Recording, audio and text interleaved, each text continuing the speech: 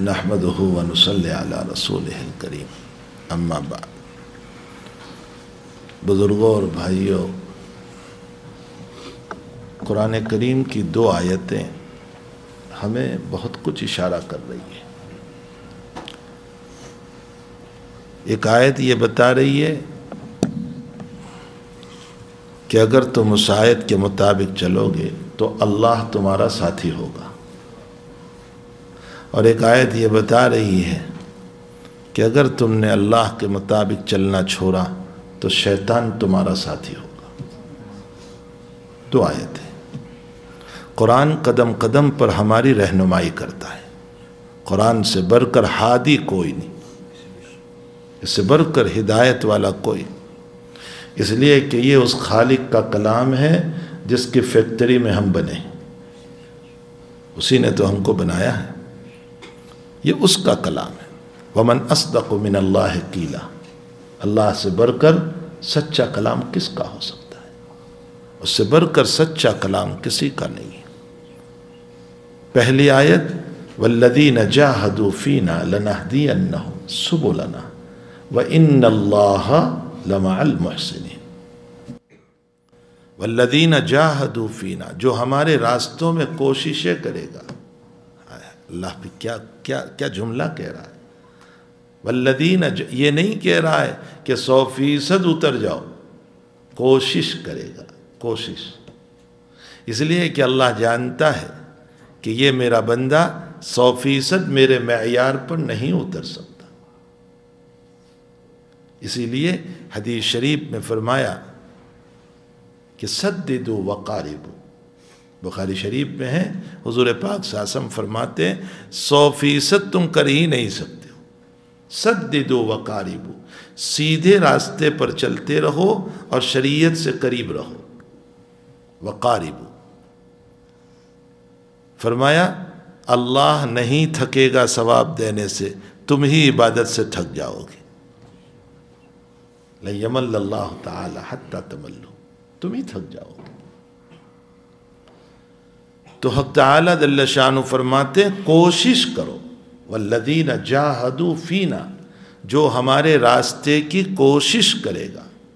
لنہدینہم سبلنا۔ ہدایت کی نسبت، یہ ارباب علم بیٹھے ہوئے ہیں۔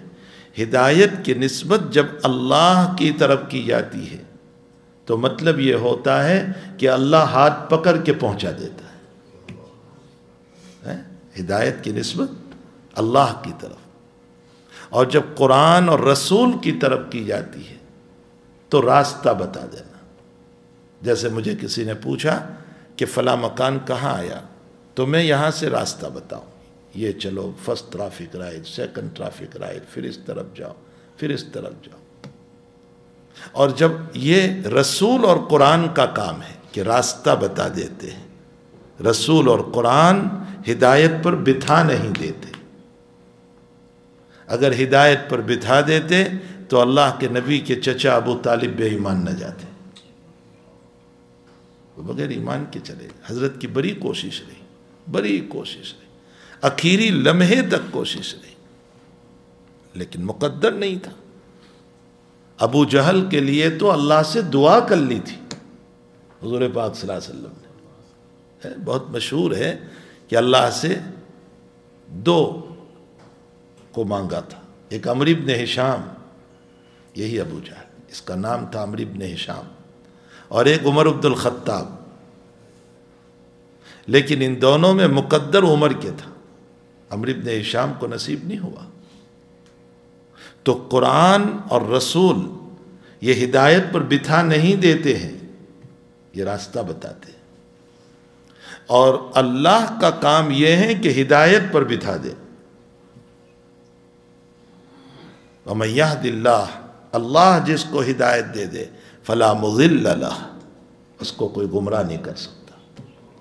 وَمَنْ يُضْلِلْ، فَلَا حَادِيَ لَهِ، اور جب وہ گمراہی دے دیں کوئی ہدایت نہیں دے سکتا۔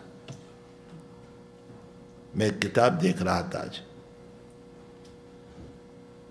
ایک عجیب و غریب مضمون آیا قرآن کریم کی تفسیر کے اندر۔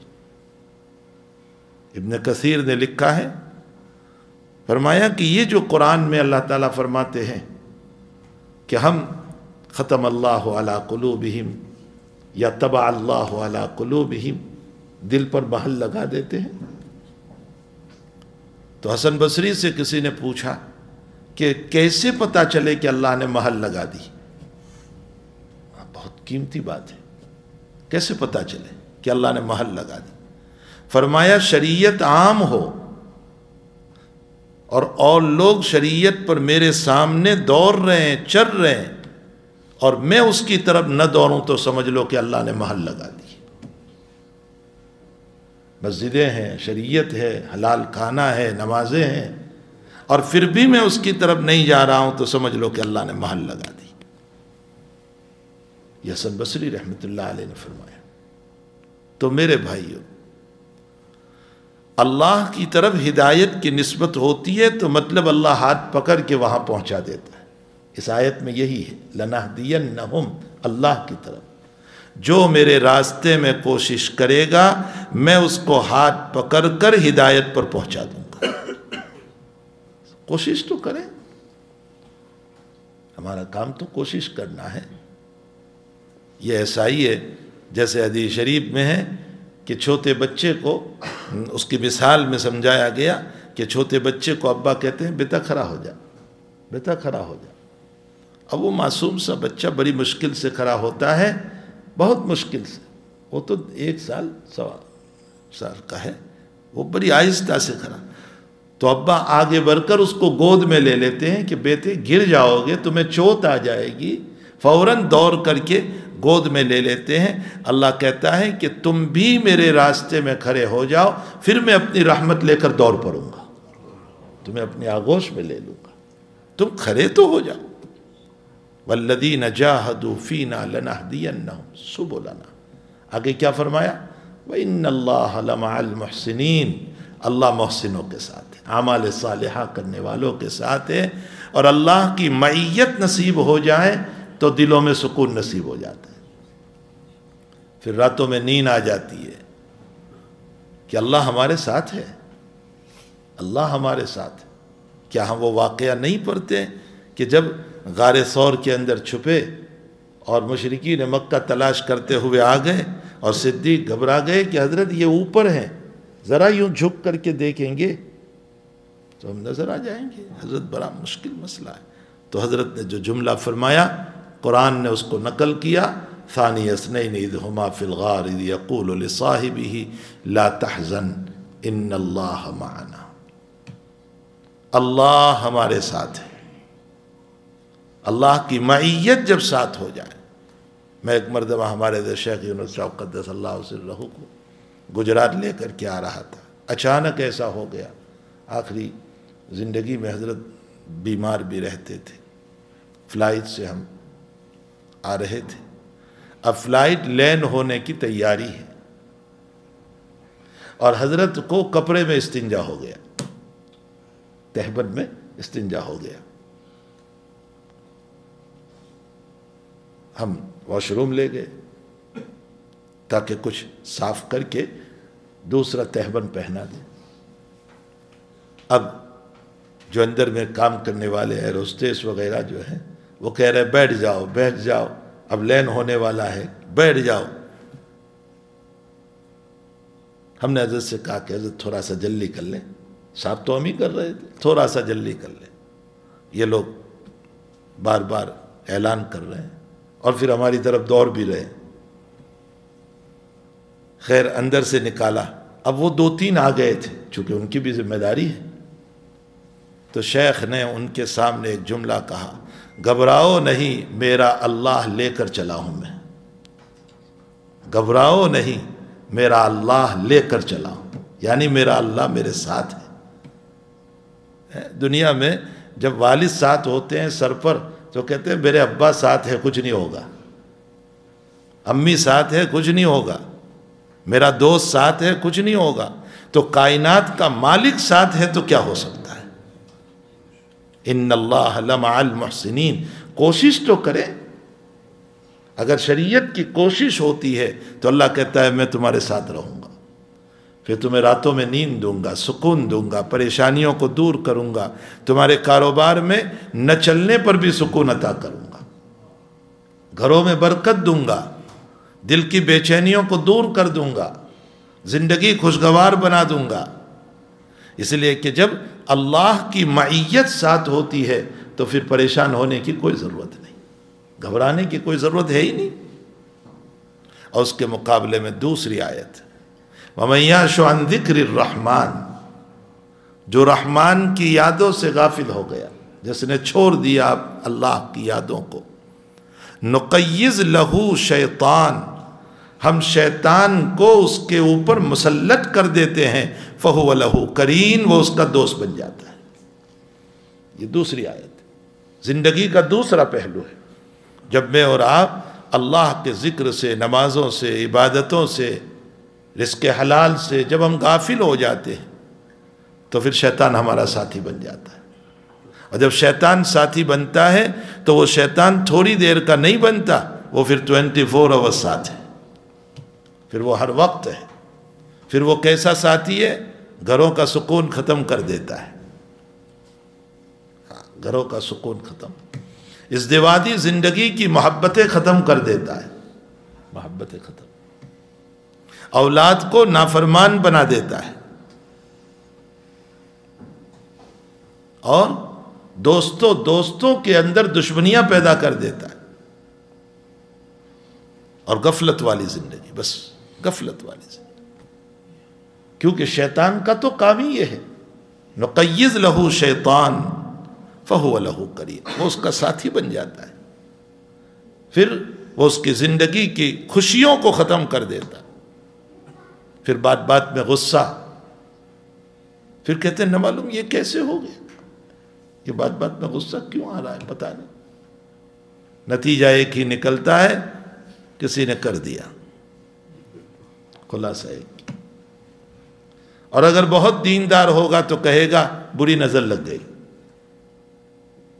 لیکن یہ نہیں دیکھا کہ غفلت عن اللہ کی بنیاد پر شیطان میرا ساتھی ہے جس نے مجھ میں غصہ پیدا کر دیا۔ نقیز لہو شیطان فہو لہو کریم۔ تو انسان کی زندگی جو گزر رہی ہے نا اس میں معیت خدا بھی ہے یا معیت شیطان ہے، فیصلہ ہمیں کرنا ہے۔ اگر اللہ کی معیت لینا ہے، تو اس صورت میں والذین جاہدو فینا، ہم کوشش کریں۔ لنہدینہم سبلنا۔ اور اگر شیطان کو ساتھی بنانا ہے، تو پھر غفلت والی زندگی گزاریں۔ پھر اس رحمان والی زندگی کے لیے ضروری نہیں ہے کہ آپ کاروبار چھوڑ دو، جاب چھوڑ دو۔ نہ۔ اسی میں رہتے ہوئے اپنے رب کو یاد کرو۔ اسی میں رہتے ہوئے۔ جاب بھی کرو، کاروبار بھی کرو، دکانیں بھی چلاؤ۔ بڑے سے بڑا کاروبار، بڑے سے بڑا کاروبار کرو۔ کوئی حرج نہیں۔ لیکن اسی میں رہتے ہوئے اپنے اللہ کو راضی کرو۔ کیسے راضی کریں گے؟ امام مالک رحمت اللہ تعالیٰ علیہ فرماتے رجال اللہ تلہیہم تجارتم ولا بیعن ان ذکر اللہ وی کام الصلاة وی تائز زکا اللہ کے بندے وہ ہیں کہ ان کی تجارتیں اور ان کا بجنس یہ اللہ کے ذکر سے اور نماز کو قائم کرنے سے اور زکوٰۃ کو ادا کرنے سے نہیں روکتا۔ یخافون یومن تتقلب فیہ القلوب والابصار۔ اور ان تمام عبادتوں کے باوجود وہ اللہ سے ڈرتے رہتے حضرت عائشہ رضی اللہ تعالیٰ عنہ نے بے حقیقی روایت ہے، نبی علیہ السلاۃ والسلام سے سوال فرمایا کہ یہ یخافون یخافون یخافون جو قرآن میں آیا ہے، یہ یہ جو ہیں گنہگاروں سے متعلق؟ یخافون یومن تتقلب۔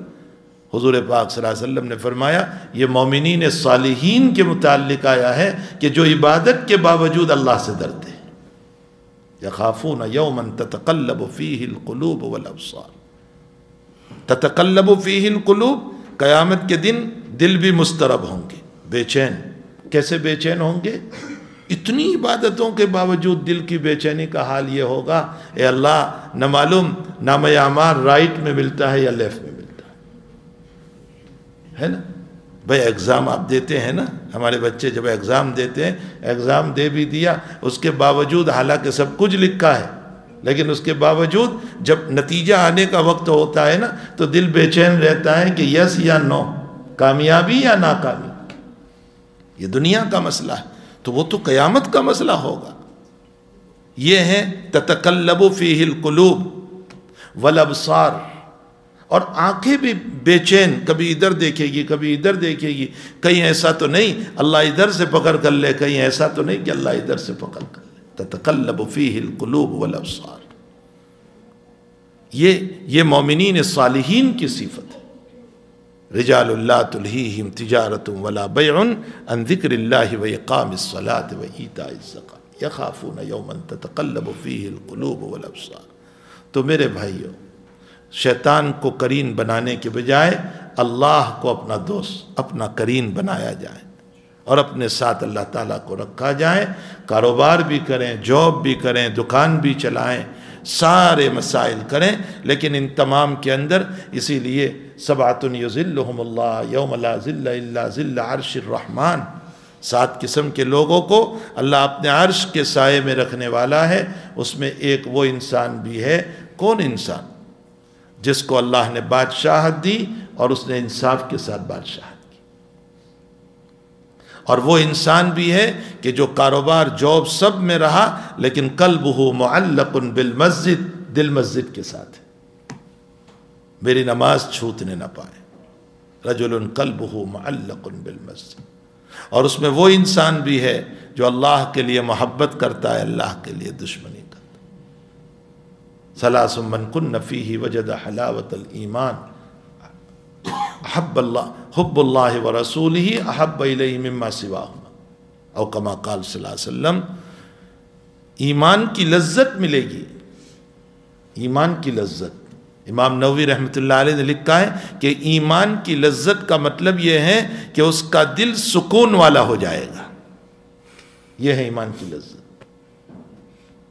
پھر وہ محبتیں بھی کرے گا نا۔ چاہے ابا سے محبت، امی سے محبت، بیوی سے محبت، بچوں سے محبت، دوستوں سے محبت، جس سے بھی محبت کرے گا، دل میں یہی ہوگا، اللہ کے لیے کر رہا ہوں۔ اور جب اللہ کے لیے، تو وہ دوستی میں اللہ محبتیں اور پیدا کرے گا۔ اس کی محبت اور بڑھے گی۔ سکون نصیب کرتا ہے اللہ تعالیٰ۔ جب اللہ کے لیے کوئی چیز ہوتی اور اس کے مقابلے میں جب شیطان ساتھی بن جاتا ہے تو پھر بگڑے ہوئے حالات، گندی زندگی، پھر آنکھوں کی خیانت چپ کے چپ کے دیکھنا، پھر بد نظریاں پھر دلوں کے خیالات، پھر وساوس، یہ ساری چیزیں شیطان کی طرف سے۔ جو کہ فہو الہو کرین ہے نا۔ پھر بے چینیاں، پھر نیند کا نہ آنا یہ ساری یہ کیا ہے؟ فہو الہو کرین جب شیطان ہمارا دوست بنا ہے تو زندگی اسی طرح گزرے گی۔ تو ہمیں چاہیے کہ ہم اپنی عبادتوں کے ذریعے سے، اپنی، اپنے اعمال کے ذریعے سے حق تعالیٰ دل شان ہو وہ امن کو اپنا دوست بنائیں، اپنا ساتھی بنائیں، اپنے ساتھ رکھیں، اللہ کی معیت اپنے ساتھ رکھیں۔ اللہ کی معیت ہوگی تو انشاءاللہ اللہ تعالیٰ زندگی بڑی کامیاب ہوگی، بڑی ہمارے حالات حالات تو آتے ہیں، زندگی حالات تو آتے ہیں۔ امام مالک رحمۃ اللہ علیہ، آج ہی میں نے سبق میں سنایا، امام مالک رحمۃ اللہ علیہ نے جب ایک ایک فتویٰ دے دیا خلیفہ منصور کے خلاف، خلیفہ منصور نے جلاد سے کہا، کون امام مالک؟ امام مالک، امام دار الحجرہ مالک بن انس۔ اس کے رسول میں ڈوبا ہوا انسان سیوتی نے نقل کیا ہے، کوئی رات نہیں گزری کہ نبی کو خواب میں نہ دیکھا ہو۔ کوئی رات نہیں گزری۔ یہ امام مالک اور اس کے رسول کا حال یہ تھا کہ زندگی میں ایک ہی حج کیا۔ فرمایا، میں حج کے لیے جاؤں، کہیں وہاں موت نہ آ جائے، مجھے تو یہاں سونا ہے۔ ایک ہی حج کیا۔ بالکل نہیں گئے، مدینہ چھوڑ کر۔ بڑے بڑے بادشاہوں کی دعوتیں ملی، حضرت نہیں گئے۔ بس مدینہ ہی میں رہے۔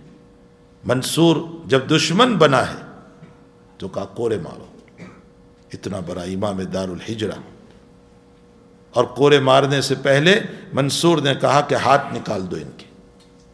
تو دونوں ہاتھ کھینچے، زور سے۔ علاحدہ نہیں، یہاں سے اتر گئے، تاکہ یہ ہاتھ اٹھا نہ سکے۔ اور اس عالم میں حضرت ہاتھ نہیں اٹھا سکتے تھے اور آپ کو مارا جا رہا۔ لیکن ان تمام تکالیف کے باوجود آپ کے حالات میں لکھا ہے کہ ظہر کا وقت ہوا، آپ نے اسی وقت کھڑے ہو کر نماز پڑھ لی۔ اس حالت میں بھی، جبکہ آپ کے ہاتھ اٹھائے نہیں جا رہے تھے۔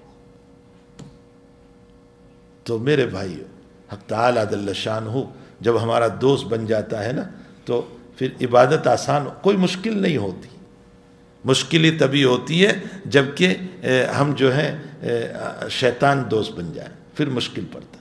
اللہ دوست ہوتا ہے تو اس کے لیے کرنا آسان ہو جاتا ہے۔ رب کریم مجھے اور آپ کو اپنی عبادتوں کے ذریعے حق تعالیٰ کی معیت نصیب فرما دے اور شیطان کی دوست بننے سے، اس کے کریم بننے سے، اس کے مسلط ہونے سے حق تعالیٰ ہم سب کی حفاظت فرمائیں اسی لیے حضور پاک صلی اللہ علیہ وسلم کو اللہ نے ایک دعا سکھائی۔ قرآن میں ان اعوذبی کا من حمزات الشیاطین اے اللہ، میں شیطانی خیالات سے پناہ چاہتا ہوں۔ نبی کو دعا سکھائی، شیطانی خیالات۔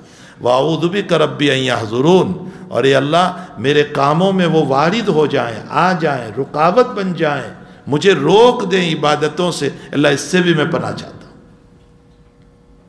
اللہ تعالیٰ مجھے اور آپ کو یہ لذت نصیب فرمائے۔ اور اپنی زندگی کو بہتر سے بہتر بنا دے تاکہ تعالیٰ کی میت نصیب ہو۔ و صلی اللہ علیہ نبی الکریم۔ سبحان اللہ بحمدہ سبحان اللہ بحمدک۔ نشهد ان اللہ الا انت نستغفرك ونتوب